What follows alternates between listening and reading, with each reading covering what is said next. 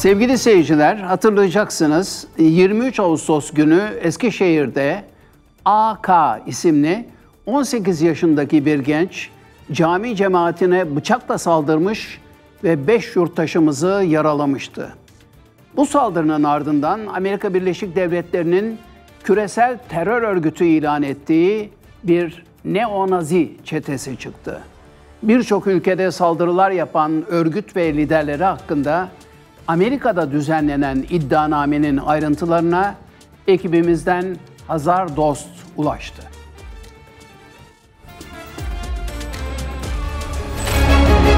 Hazar gelsin.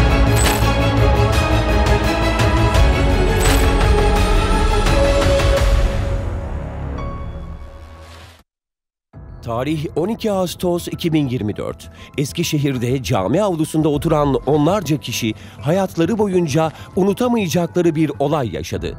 18 yaşındaki Ardake, taarruz yeleği, komando bıçağı eşliğinde orada oturan insanlara saldırdı.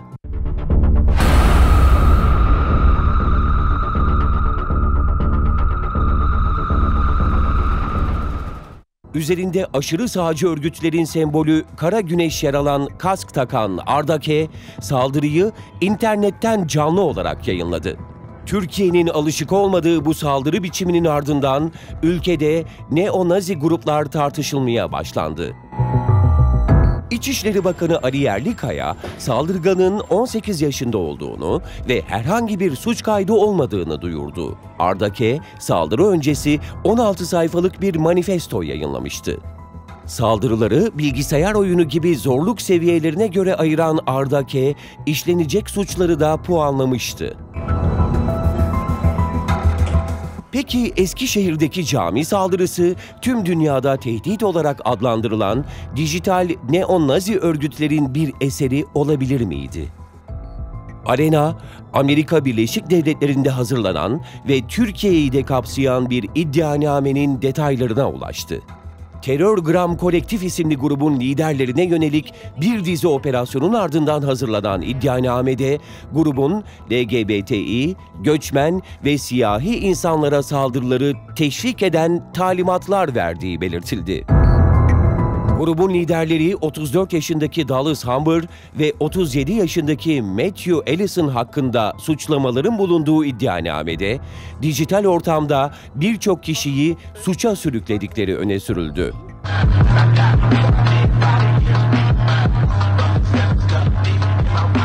Örgütün lideri olduğu iddia edilen Dallas Humber, çocukluğundan bu yana aşırı sağcı gruplarla temas halindeydi.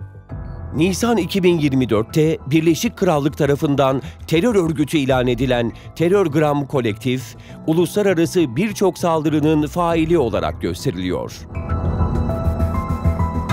Ekim 2022'de Slovakya'da 19 yaşındaki saldırgan LGBTİ barından çıkan iki kişiyi öldürdü.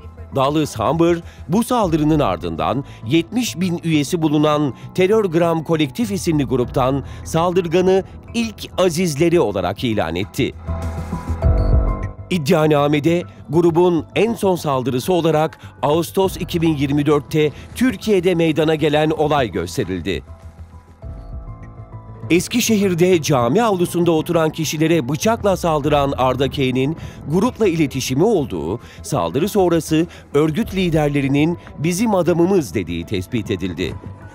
Amerikan hükümet görevlilerine suikast, enerji tesislerine sabotaj ve birçok ırkçı saldırıyı planlamakla suçlanan grubun liderleri 220 yıl hapis cezasıyla karşı karşıya. Yardım edin! FBI Direktörü Christopher Wray, iddianame hakkında yaptığı değerlendirmede Terörgram kolektifi ulus ötesi terör grubu olarak tanımlarken şu ifadeleri kullandı. Sanıklar soruşturmamızın nefret suçları ve hükümet yetkililerinin öldürülmesini talep etmekten ve teröristlere destek sağlamaktan sorumlu. Eskişehir'deki cami saldırganı Ardake ve Terörgram kolektif arasındaki bağlantı bu kadar da değil. Arda Kay'nin saldırı öncesinde esinlendiği kişilerden Andrews Behing Breivik, Terörgram kolektif tarafından aziz olarak tanımlandı. Breivik'in Norveç'te düzenlediği ırkçı saldırıda 77 kişi hayatını kaybetmişti. Amerika Birleşik Devletleri ve Birleşik Krallık, dijital ortamda artan ve beyaz üstünlükçü neo-nazi grupların tehlikesine dikkat çekerken, uzun yıllar sonra gelen ulus ötesi terör örgütü tanımlaması, Eskişehir'deki saldırıyla bağlantı saptaması gözleri bir yandan da Türkiye'ye çevirdi.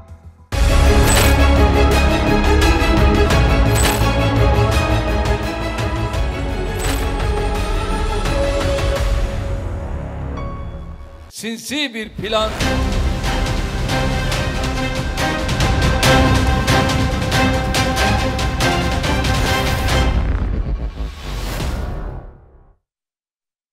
Sevgili seyirciler, haberi hazırlayan Hazar Dost stüdyomuzda. Hazar, Eskişehir'den Amerika Birleşik Devletleri'ne, başka ülkelere e, yani çok çarpıcı bir iddianame bu ve çok vahim bir gelişme. E, habere ilaveten neler söyleyebilirsin? Ee, bu burada gördüğümüz aslında e, 70 bin kişilik bir e, neonazi grubunu, e, 70 bin kişilik bir beyaz üstünlükçü grubun bir araya gelebildiği. Şimdi e, terör örgütü tanımı e, aslında burada e, iddianamede de yapılan ulus ötesi bir terör örgütünden bahsediyoruz. Buradaki e, faillerin çoğu destek sağlamaktan, onlara fikir vermekten, e, bir saldırının nasıl yapılacağına dair e, bilgi bilgi notları hazırladıkları, belgeler hazırladıkları, belge, e, belgeseller hazırladıkları. Bir bakıma da dijitalleşmenin yarattığı sınır ötesi tehlikeleri Evet. yansıtıyor. Aslında tam anlamıyla e, burada karşımızda böyle bir tehlike var. Dijitalleşmenin, her tarafa ulaşabilmenin o avantajını konuşuyorduk her zaman ama artık bir terör örgütü kavramından bahsediyoruz ve bu dijitalleşmeyle beraber birbirini tanımayan, görmeyen insanlar e, farklı farklı yerlerde eylemler yapabiliyor. E, şimdi Avrupa'da daha çok örnekleriyle karşılaştık. İddianamenin hazırlanmasına konu olan olay da Amerika Birleşik Devletleri'nin enerji santrallerine saldırı planlayan grupların e, istihbarat takibine takılmasıyla beraber başlıyor. Çünkü e, Arda K'nin evinden çıkan notlarda saldırıyı nasıl planladığını görüyorduk biz aslında. Bu saldırı planlama aşamasında enerji santraline saldırabilirim, e, komünistlere saldırabilirim, e, işte e, Suriyelilere saldırabilirim gibi e, şeyler vardı, önermeler vardı. Camiye saldırmaya tercih etti. Kendisi camide oturan, cami avlusunda oturan kişilere saldırmaya tercih etti.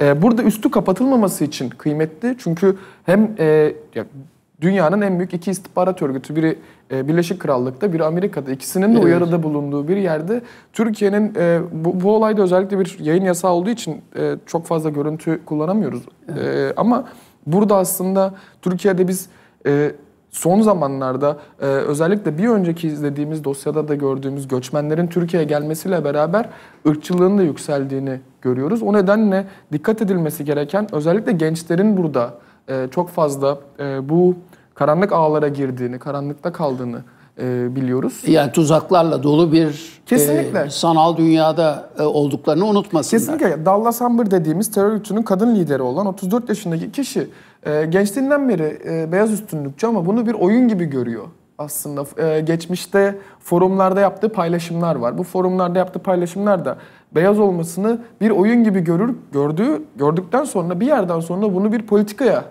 uyduruyor. Bir ırkçılık, ırkçı politikaya uyduruyor ve insanları böyle bir çekim e, kuvveti oluşturuyor.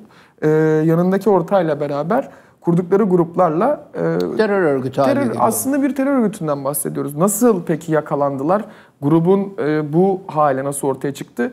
E, Telegram'ın kurucusu Fransa'da gözaltına alınmıştı e, geçtiğimiz aylarda. E, gözaltına alınma nedenlerinden biri olarak gösteriliyor bu dava. Neonazi çetesi. Evet, ya bu kadar ciddi bir yapılanmadan bahsediyoruz aslında. Yani burada bir e, El-Kaide'den bir e, PKK'dan bir hani uluslararası bir örgütten bahsederken ne kadar ciddi almamız gerekiyorsa buraya da o kadar ciddi almamız gerekiyor. Çünkü kimliği belirsiz ve dünyanın her tarafında herhangi bir eylem yapmaya hazır e, binlerce insan var. Evet. E, ve yakın zamanda yaptığı örneklerde... Aman dikkat diyelim. Evet. Pek çok teşekkürler Ben teşekkür Hasan. ederim.